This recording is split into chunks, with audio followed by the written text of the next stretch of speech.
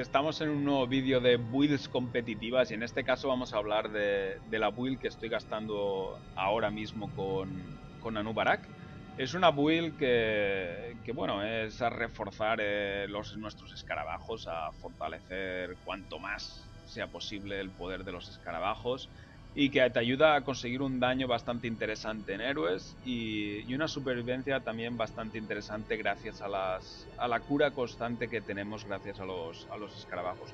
Como veis andamos en rango 24, vamos aprendiendo poco a poco, son rangos eso para ir aprendiendo, ir explotando los diferentes roles y ir disfrutando del juego.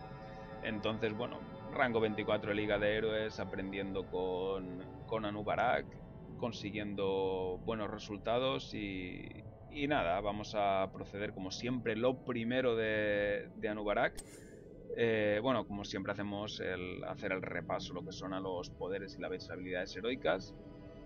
Empalar. Eh, CD 12 segundos, inflige 60 puntos de daño y aturde durante un segundo. Como veis, muchas partidas que os encontréis es la línea esa recta de pinchos que saca. Después tenemos el caparazón endurecido, es un CD de 8 segundos que nos mitiga daño. O sea, es un escudo de absorción que nos ponemos que dura 3 segundos, es para el momento en que nos vayan a, meter candela, pues tiramos del escudito y, nos ayuda a amortiguar un poco de daño.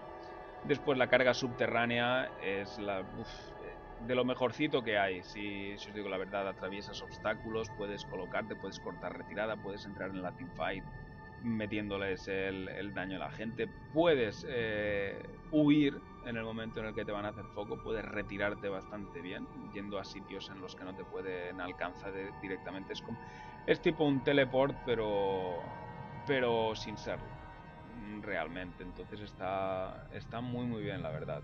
Porque además es eso, es puedes entrar haciendo daño en la teamfight, les cortas. O sea, hay una Nova haciendo la ulti, se la puedes cortar hay Lily tirando los frascos, se los puedes cortar. Hay, no sé, a todos estos que puedes con empujones, stuns y demás, los cortas las, las habilidades y está, está muy muy bien. Después de pasiva tiene Legión de Alfazaques. Engendras un alfazaque en tu ubicación cada vez que lanzas un hechizo y los alfazaques duran 10 segundos y atacan enemigos cercanos a los que infligen 8 puntos de daño. Van escalando el daño. Entonces, de lo que se trata con esta build es de reforzar a esos alfazaques, a esos escarabajos que vamos invocando. Después de habilidades heroicas tiene Ráfaga de Telarañas, que es un ceceo, dura 8 segundos y es para, para lo mismo, para situarnos, para hacerle un bucaque bestial a, a uno que se nos haya quedado descolgado cuando el equipo contrario vaquea y si no pues para cecear cuando entramos en la teamfight, cecear a, a, su healer o a quien nos vaya a incordiar para poder destrozarlos antes de que, antes de que se suelte. Y después enjambre telarañas, pues es el que suelo coger yo, la verdad, es, es daño y sanación para ti. Y nos puede ayudar mucho cuando nos metemos en medio de la, de la teamfight para tanquear ahí el, el daño, incordiar, stunear, etcétera, etcétera.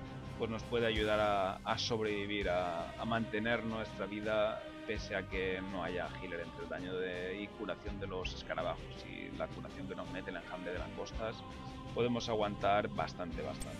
Y ahora vamos a pasar lo que es los talentos que vamos a elegir. Obviamente, eh, escarabajo de asalto es lo primero que vamos a elegir. Aumenta un 25% el daño de los, de los escarabajos que invocamos.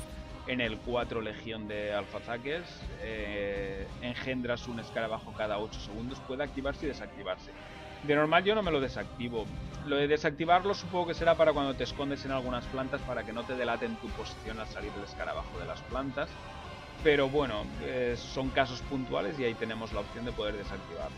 Yo no me lo desactivo, yo voy generando escarabajos todo el tiempo. Después en nivel 7, escarabajos drenantes. Los alfazaques te curan un 50% de su daño con, con, cada ataque si estás cerca, es excelente.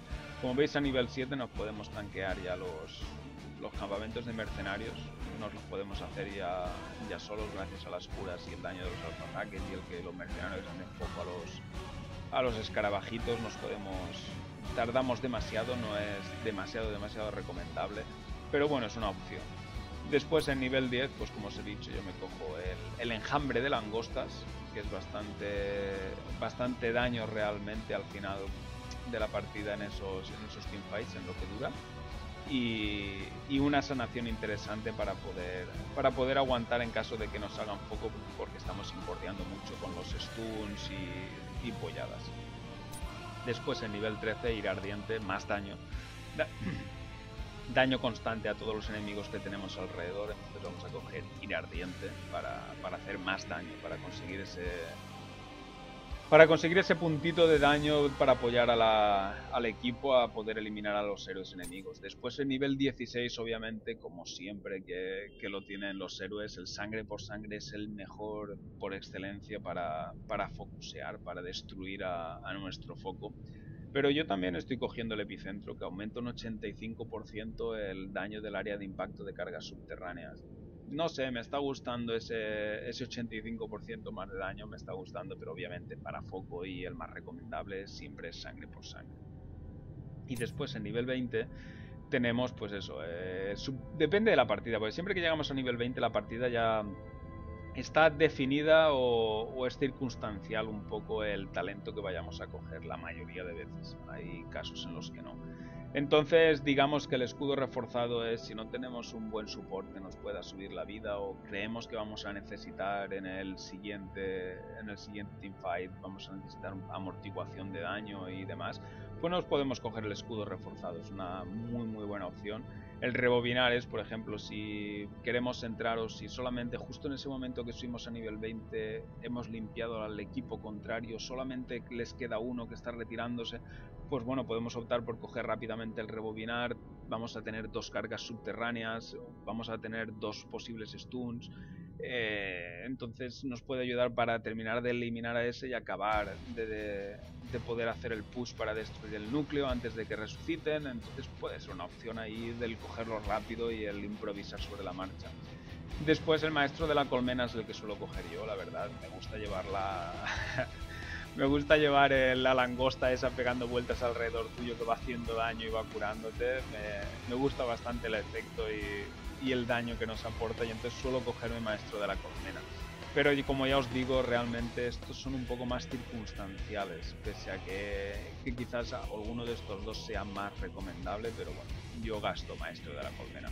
Pues nada, como siempre, hasta que ha llegado la presentación de la, de la, build competitiva de Anubarak. Os invito a que lo probéis en, Liga de Héroes o en Casual. Es un héroe que con el buff que le metieron está muy muy bien ahora, consigue un daño, un daño a héroes bastante interesante y es un tanque que no hay que menospreciar. ¿De acuerdo? Quizás está eso en el podium junto con ETC y Muradin, para mi punto de vista. Para mí son ETC, Muradin y, y Anubarak los tres los tres tanques más divertidos, más consistentes, que, que más apetece jugarlos cuando te toca piquear Pues nada, hasta aquí el vídeo, si os ha gustado como siempre me dais un like, si queréis ponerme algo en comentarios, oye, pues este talento no es adecuado y eh, todo ese tipo de cosas que os gusta a vosotros comentar a veces. pues nada, me lo ponéis en comentarios, si queréis estar al día de todos mis vídeos, pues os suscribís al canal. Venga gente, nos vemos en un próximo vídeo.